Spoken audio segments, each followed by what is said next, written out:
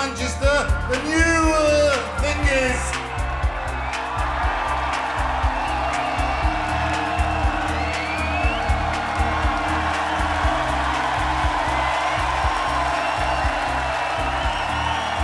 Oh.